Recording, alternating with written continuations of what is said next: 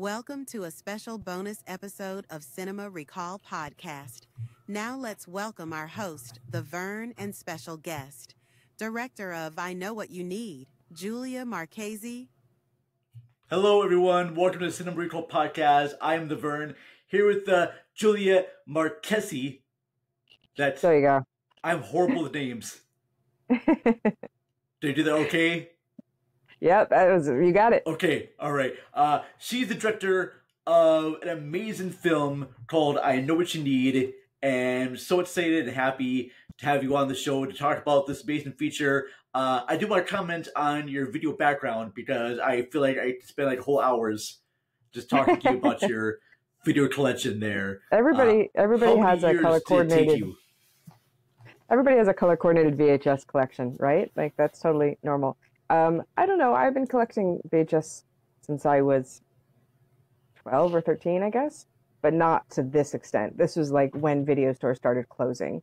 I would go and and buy stuff um, and give it a good home and a loving home. Well, I, I appreciate the dedication you give to physical media. How many videos would you say you have? Uh, about a thousand, I would guess. Yeah. Uh, Good- is good there amount. one movie? Is there a movie in your collection uh, that was like a rare find? Just one that sort of the holy grail that you were saying to get. I had a really hard time finding The Legend of Billie Jean on VHS, and I wanted to be able to like find it organically in a store. And I went to you know hundreds of video stores, uh, and I couldn't. I never found it. Um, so a friend knew it was my holy grail, so they they bought it for me. So it was a Christmas present. So I have it now. Uh, but the bootlegs are really the kind of the holy grail, like the Star Wars Holiday Special and and and like um, Heavy Metal Parking Lot and stuff like that, where Uh, it's things that like should be watched on VHS. Can you hear me? Okay. Gotcha. I, I, I hear you fine. Uh, it's a little bit of a delay there, but it should be okay. Um, uh, let you all know that uh, we're kind of having some uh, recording little issues here on both our sides there, so it's all good. It's all going to work out just fine. Um, one more thing about your collection, because I do want to talk about this feature. I promise you that.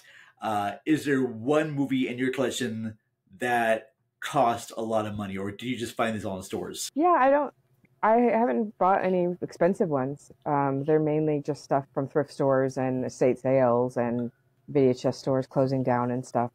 Um, and uh, I'm actually there's a there's a documentary called Rewind This that's about VHS collecting that the collection is featured in. So I feel justified. Too cool. Uh, we're not here today to talk about your video collection, even though I'd like to have you back on to do so because that is amazing. All right, I'm loving it so much. Uh, we're here to talk about your your short feature. I know what you need. Um, based on the novel or based on the short story by Stephen King, which I had no idea it was based on a short story until after I saw the end credits. And I thought, oh, Oh, Stephen King. That's pretty impressive. Uh, I'm just curious right off the bat, how were you able to get the rights for a Stephen King adaptation? So this, uh, I know what you need, was part of Stephen King's Dollar Baby program, uh, which ran from the late, uh, from the seventies or early eighties to last December, twenty twenty three, where it was a program where you could buy the rights to certain short stories for a dollar for a year, and I bought, uh, got the rights to I know what you need. So uh, it was amazing to be able to film my favorite short story of his, and I've been a, a big fan of his since I was uh, a kid. And we got to shoot at the University of Maine where the story is set as well. So it's in the locations he mentions in the story. We shot in his dorm. It's uh, really, really specific. Cool. Uh, the cast of I Know What You Need include, and I'm just pulling this up right now, uh, Caroline Renee, William Champion, and Giovanni Drum. And for what I gather here, I don't want to Drummond, any yeah. spoilers too much here. uh, it is about a young woman who meets a young boy, and the young boy is very smitten with her, and he knows things about her, uh, things that uh, she didn't really tell anyone, and the two start up a friendship, which you know starts to uh, gather up more things, and they start to get to know each other, and there's a love story that brews in this, uh, but there's something very uh, different about this guy and her roommate played by Gina Van Drum. She knows things about him, and uh, the girl, uh, played by Kelana Renee, doesn't quite understand or see it though. Uh, I like this movie very much because, from a story perspective, I had no idea exactly what was going on until much later on. I really thought this was like a simple love story, and Excellent. the twist that mates was very good.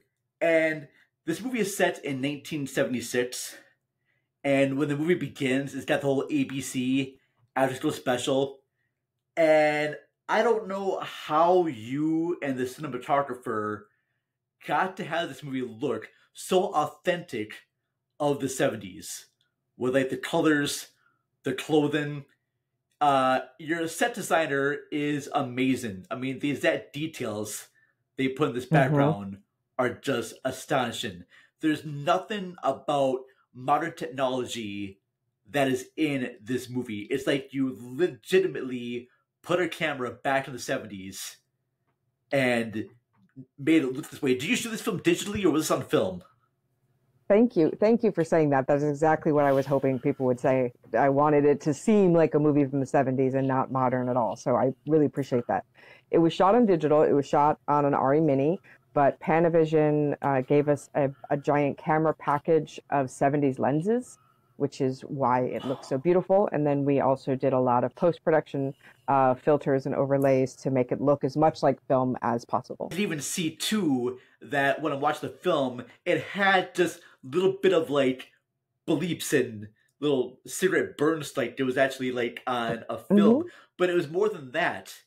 It was like film that was transferred to, to video to be shown on like TV. I mean, this is the type of TV that I remember watching back in the day, and just the way that the filters were, I was just totally blown away by that. So just by the look of it, I was like, "Holy shit!" Because this is very different from other shorts that I get, you know, links and access to.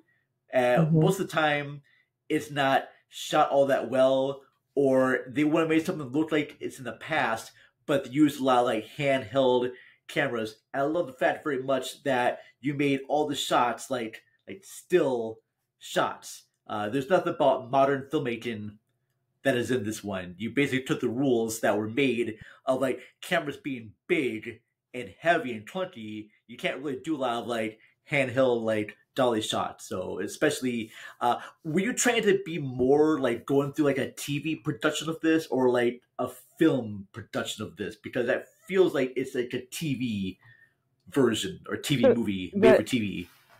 The idea, so the idea was an after-school special meets Brian De Palma was kind of what I was going for. So you know, I'm never going to meet, meet meet Brian De Palma levels. I understand that, but I can aim for the kind of um, you know craziness and, and, colors and split screen that we get in the movie uh, eventually but yeah, I just wanted it to to really seem like a after school special because this story in particular, you know, you have a female lead, you have it taking place on a college campus, you have it be about teenage love, and it's also a cautionary tale, which is what after school specials are.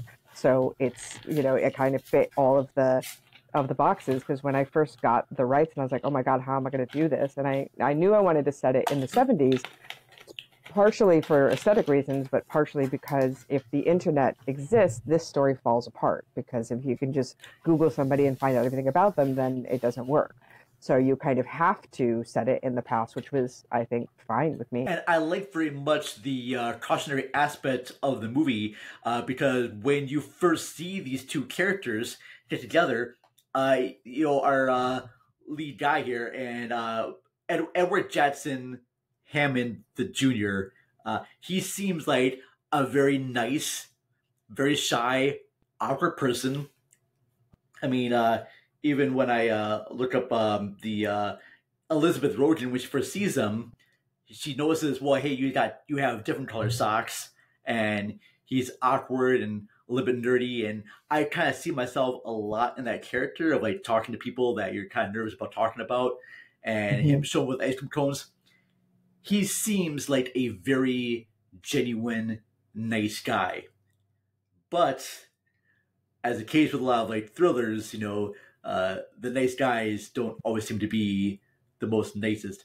But the weird thing too, or not really weird thing, but what I appreciate about this movie is that even though uh, you have a potential villain in that character, you do put a lot of like warmth and humanity into him so you can understand where he's coming from. You don't look at that character as just being the bad guy because that would just be, you know, typical and lazy. And I like the fact very much that you don't do that. Uh, he has a lot Thank of like, different layers to him. And uh, I, I, mean, William Champion the, did uh, a did a, a, really good job with the character, and I feel like you know that, and that was something that you know if if Edward's Edward's creepy from the beginning because he says he's been watching her, so already you know there's like eh, something's there, but if he's just straight creepy for the whole movie, it, it doesn't it won't work. It can't sustain. So, and when I first read the story, the reason I fell in love with it is because you did have this character where I was like, oh, I feel like I would fall for this character and be like, oh, he shows up and he, you know, he's dressed in this jacket, he's got mismatched socks, he's bringing you ice cream.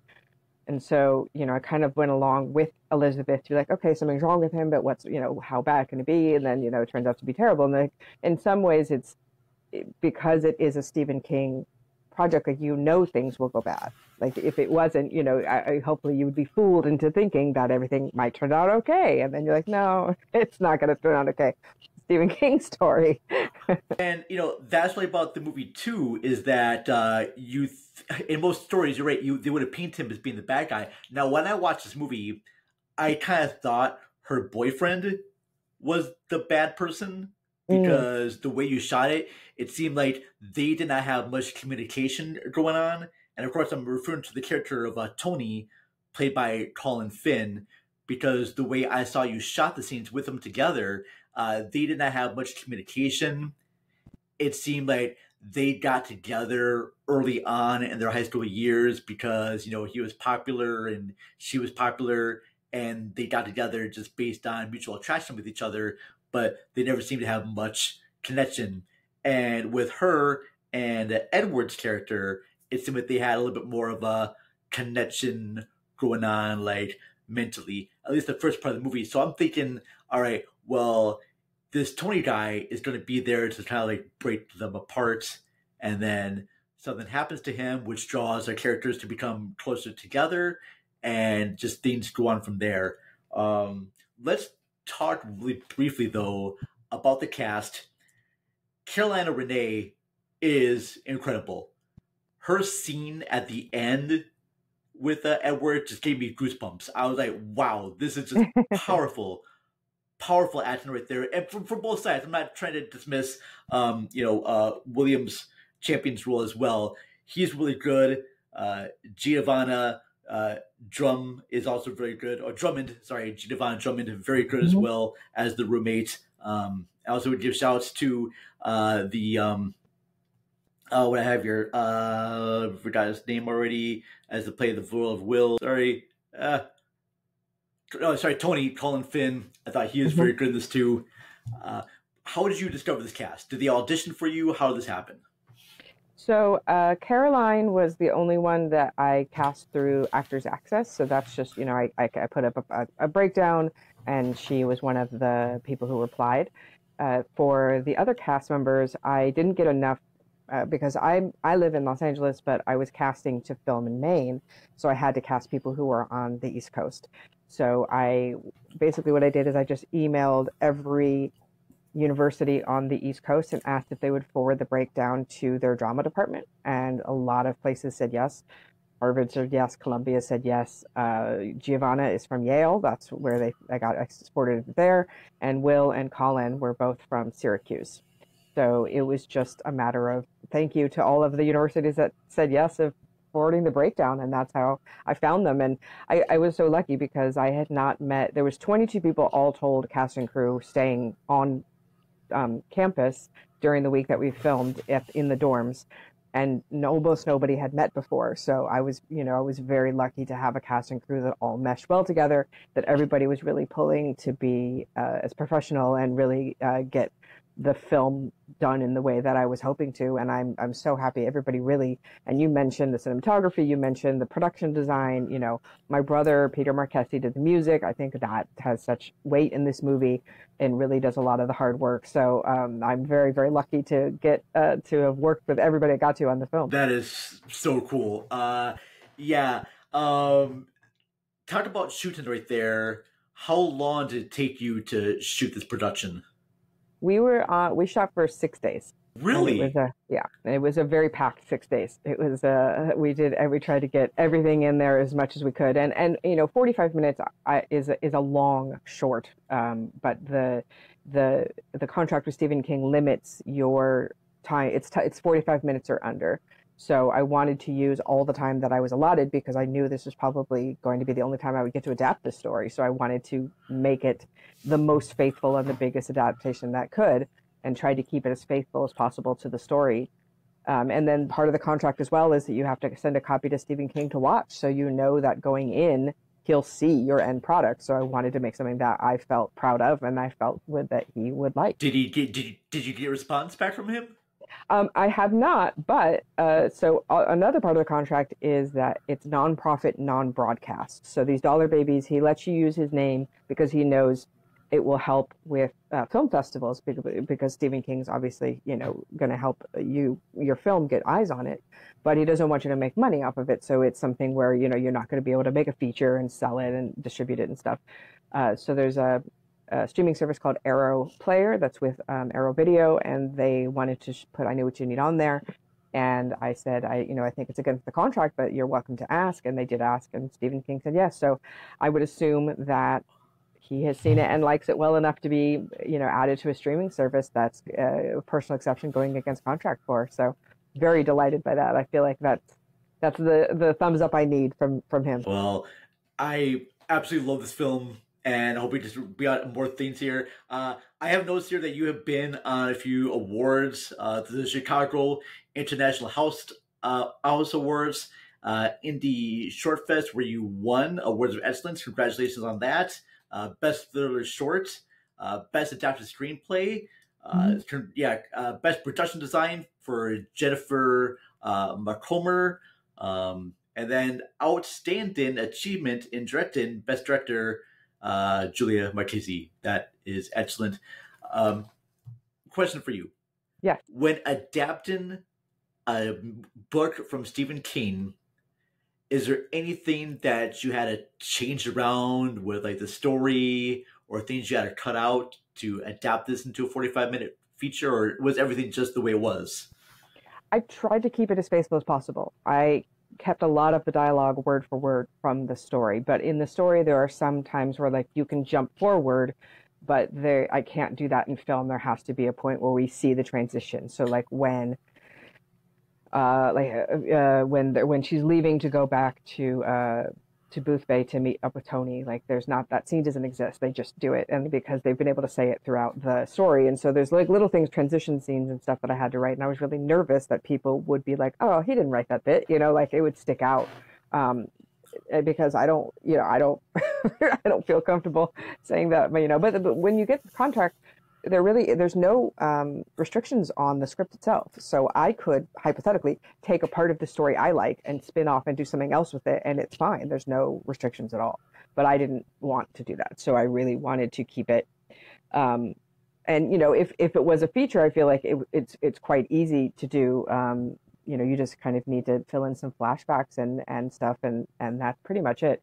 Um, and the only thing that I cut out was there is a scene that I had between Tony and um, Elizabeth that was a dialogue scene and everybody I gave the script to told me to cut it out. And like, you don't need it. Like, just show them together and show that they're not talking to each other and it's they're not meant to be together. And it's you know you can do that without the scene. And I said, okay. I thought it was great when you show the sequences of them without any dialogue.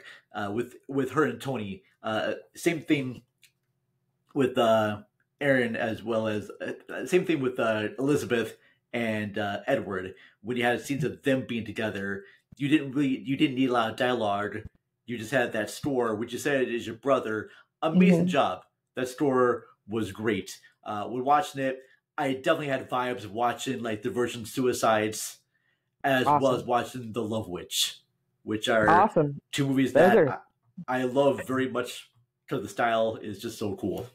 Yeah, well, thank you. I mean, I- that's those are those are good, amazing comparisons. My brother is uh, an amazingly talented musician and has been in bands uh, and done music all of his life. And he was nervous when I asked him to do this project because he doesn't make music that sounds like an after-school special. Like he's never made music like that at all. So I have to try to push him in that direction, which is, you know, it's scary for him, but I think also fun. And I think he he did such an incredible job of making it sound like a 70s score. And he played Oh. everything. All those instruments Um, are him. so That was all him.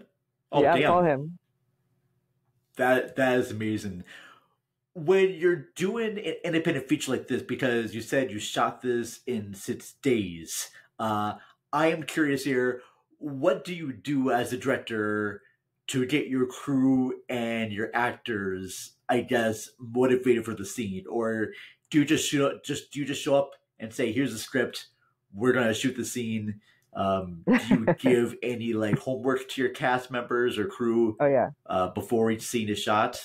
Um, well, we, you know, I was in pre-production, so I was, I, I originally got the contract in 2019, and I got the contract pushed a year because of the pandemic, and so I had uh, more than normal long time to do pre-production, but like hardcore pre-production was about six months, and that was time where I was showing, like I showed my cinematographer Phantom of the Paradise, and I was like, okay, this is a Brian De Palma movie. I love these are the things that I love about it, and like these are the things that I'm going for. We watched some after school specials together. I gave assignments for movies to watch to the actors. Like these are the characters that I feel like the character that your character is similar to, or like the vibe that I'm going for.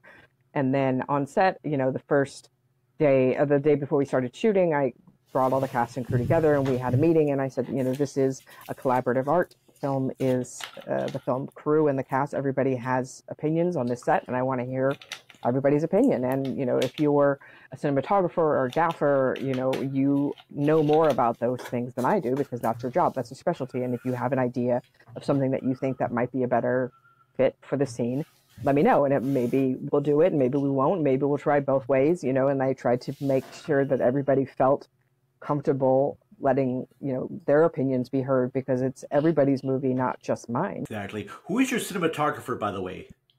Uh, that is Alex Simon. He also did the cinematography from my first film, Out of Print, which is a documentary. He is super awesome. That is very. Yeah, I, I gotta say, uh, you mentioned about Brian De Palma, which I definitely see the similar similarities because of the split screen.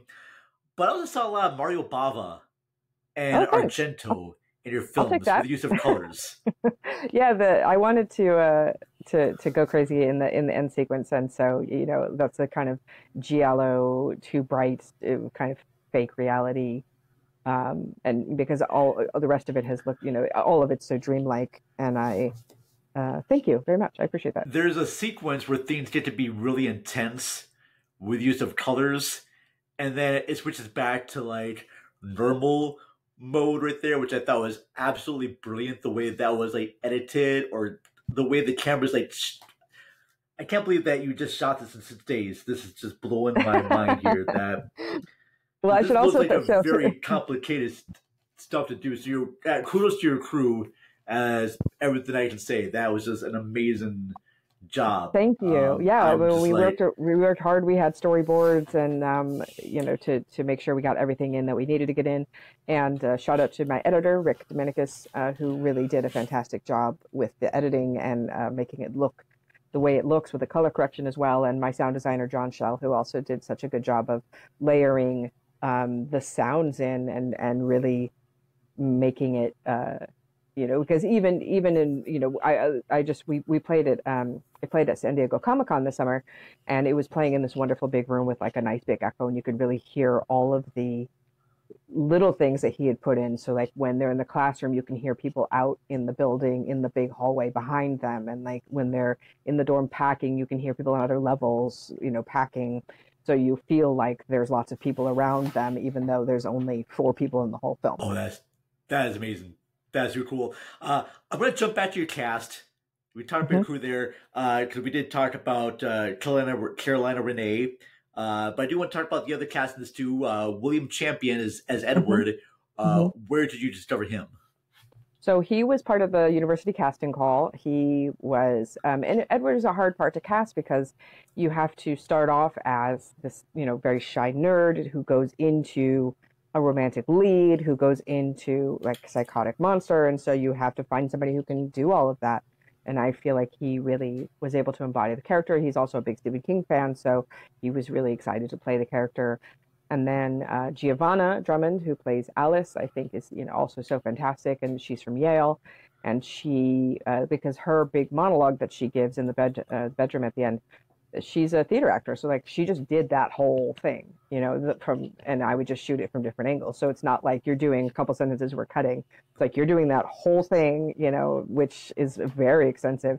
Uh, over and over and over again, and she did such a killer job. She's probably like the unsung like hero of this movie, Giovanna Drummond. She's like that secret weapon, that little mm-hmm. ingredient that made this movie good. Like you have like this uh, cake, and William Champion and Kalanna Renee are like the big portions of this cake that are like really good, and then Giovanna Drummond is like that special ingredient that just makes the cake just that much better. And I love her very much in this feature, and I hope every person in this cast even Colin Finn, who has no dialogue in this movie, I hope they all go on to get more roles because they are just incredibly great.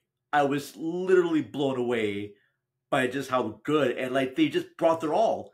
Uh, when um, Renee is having her, you know, big argument. Oh, sorry, no, sorry. When Elizabeth is having her big argument with uh, Edward, uh, just the tension that they bring is just I was just totally impressed by it. I was never seen a short where I'm like, oh wow, oh damn, they're giving this all. And you mentioned they're theater actors too, and yeah, it makes total sense. Uh, I will say this, Julia, if you ever make another short and you need someone to like walk by a street, I will mm-hmm. do that. There is a scene where um, I believe uh, Elizabeth is coming back to find out where Edward is, and there's characters warm their hands by the fireplace and just mm-hmm. see their hands.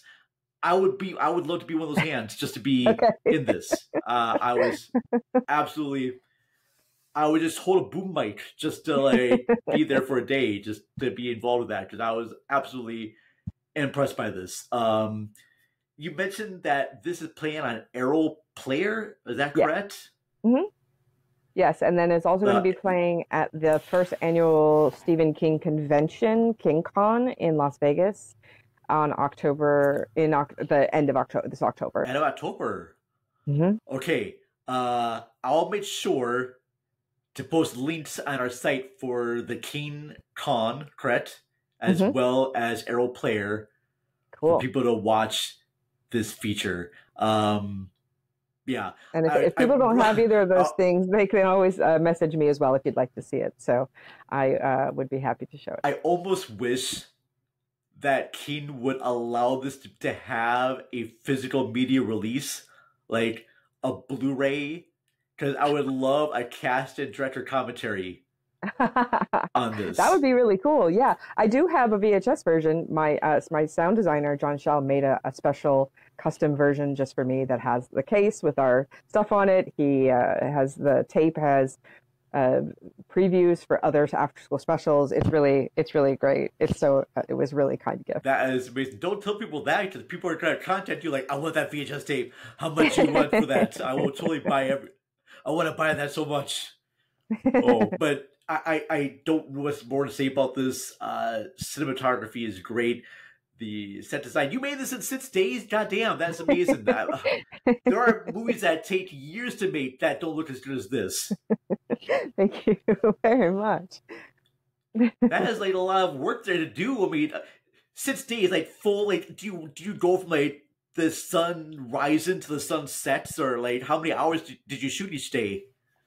Uh, it depends. Some days, yeah. Some days it's like 12 hours, 16 hours, but you know, you only have a week to do it. So you're going to do as much as we can and then try to get prepped for the next day. Damn. Damn. That's uh, impressive stuff there, Julia. I, when you sent me the link for this, I was like, oh, okay, Nate 70s. Yeah, like Brian De Palma aspect. And I was like, right when it started, I was like, oh, okay. And then just went on and the storyline really sucked me in because you are kind of with uh, Elizabeth and being this new guy, and this new guy, you know, he may have some awkward things about him, but he seemed to be genuine nice and really cares about this girl, and I could see myself as being that person. And then he got to be a little bit obsessive about her, and I was like, oh. And then I found myself um, sort of like um, how we call here uh, sympathizing with Alice, her roommate, and thinking that, mm-hmm. oh, all right, well, Alice is now the secret kind of like hero to the story. Uh, but yeah, I love this feature because you can totally understand why Elizabeth does fall for Edward in the in the role of the story, and just amazing. I love all the twists and turns and mates with it. Uh, the pacing is just right on. There's never a moment that feels like it's sort of like wasted. But yeah, I thank you, and I, I, I, thank you so much. I cannot wait for more people to check this out. Uh, you will find my full written review of this movie when this show posts. All right, so you'll be able to find this episode over on our YouTube page as well as our podcast links, cinemarecall.net, or just type in cinema recall. Um, Julia, where can people find you if they want to contact you to see this feature or just to view anything you have? Uh, I am on Twitter, Facebook, Instagram, TikTok as Julia C. Marchese. And then I also have three podcasts. I have a podcast called Horror Movie Survival Guide, which is teaching you how to survive horror movies. Uh, I have The Losers Club, all about Stephen King. And then also Jodorowsky, all about Alejandro Jodorowsky and his art. So you can listen to me yap on about a number of things. Um, and then, you know, uh, I also have another film out of print, which is available to stream on Amazon Prime and Kanopy, uh, which is a documentary about the importance of revival cinema and 35 millimeter. And I'm always doing all sorts of crazy stuff around film. So uh, you can always find me online. You know, I think I've seen that feature out of print, but it's been many years. I did not know you directed that. I did. I will have yeah. to go revisit that again. Yeah, I used to work at the New Beverly I... Cinema for eight years, and so I used to do programming there and uh, their guest series and uh, this, you know, and and if you look, I think if you watch these two back to back, you can see the the grooviness link that is between them both. Oh, all right, before we go, because you did adapt a Stephen King novel. Uh, mm-hmm. Last night, I did watch three Stephen King adaptations. I okay. rewatched Misery. Yep. The Mist. Yep. And Carrie Okay. in your mind, in your opinion, what is the best Stephen King adaptation? Not counting your own, can't do sure. that. And what is like the worst Stephen King adaptation in your opinion? That would be so weird to pick my own. The best one and the worst one. Um, the yes. so I mean Carrie's hard to beat because of you know De Palma and it being the first one and it helped like rocket ship Stephen King to stardom. I think uh, Pet Sematary was, was the movie that got me into Stephen King and horror simultaneously. So that one has a really special place in my heart. I think that the chapter one of the 2017 It is pretty much perfect. I think it's uh, really beautiful. Um, as far as the worst ones, um, yeah, Dreamcatcher is not very good. The Dreamcatcher is not a very good book either. So it kind of is like, all right, they kind of suit each other, kind of suit each other. Um, so I would say that's that would be. have, I mean, you seen, okay. have you seen Have you seen Dreamcatcher? I have, and I have not read the book, so I can't make the comparison. But I was really a big fan of Dreamcatcher. Okay. It was a one and done thing, and okay. Did you have I'm you read this this it. this short story? I know what you need. I have not, because like okay. I said before, I had no idea it was a Stephen King adaptation until I saw the end credits. I'm like, oh, based on the short story by Stephen. Oh, okay. Well, it's Fair in enough. Night Shift will... and highly recommended, and see if you can uh, see how it feels to compare and contrast the two. I will like. I would definitely like to do that. Uh, I still need to. There's a lot of like, adaptations that I missed. I know that the first Stephen King book I ever read was Christine, mm. and then I saw John Carpenter's film, and I really liked that one. What he did with the changes for that was very cool. Uh, then I read Misery, mm-hmm. and then I saw the movie like a month later with my whole entire family, which is a weird thing to watch for like our Christmas movie for the family to watch. but we all sat down and watched Misery, and I thought that adaptation was very good. Uh, I think Gerald's Game, uh, Mike Flanagan's Gerald's Game, yeah. was a really good adaptation of that story because uh, it's just about a woman stuck in bed, handcuffed, and that's it. That's the story. And I thought Mike Flanagan did a really good job with like adapting that Agreed. material because it's difficult to adapt a material where it's all in a person's head. And I thought that he did a good job of doing that. I even liked oh, yeah. his uh, Doctor Sleep, which Agreed. I think Mike Flanagan does uh, Stephen King well because he's clearly a Stephen King fan, and it shows. Is there a novel? Okay, you did a short story of Stephen King. Is there mm-hmm. ever been like a novel you just said, "Oh, I want to dip my toes into that. I really want to adapt that." Is there one that you really want to do? The, that it's a hard question because a lot of my favorite books have already been adapted into movies so good that there's no way I would want to do it again. Like I'm not going to adapt Pet Sematary or It or The Shining. Like I don't need to, right? Because they're already out there and they're perfect. So it's it's hard to think of one that hasn't been done or hasn't been done well that would um, there's a there's a, I'm a big fan of Richard Bachman his uh, alter ego where he kind of writ, wrote darker meaner stuff and uh, nobody's done road work and I really like road work so I would give that one a whirl. There's one book of Stephen King that I want to have adapted but I don't know who can do it if you can do it great. It's the Eyes of the Dragon. Oh yeah, it's surprising that there isn't uh, an adaptation of that. That would be a really cool one to do. That'd be super fun and and and fantasy based, you know, dark fantasy stuff. I, I and be the fact that a lot of like fantasy shows are out right now. I think you could do a good job with it.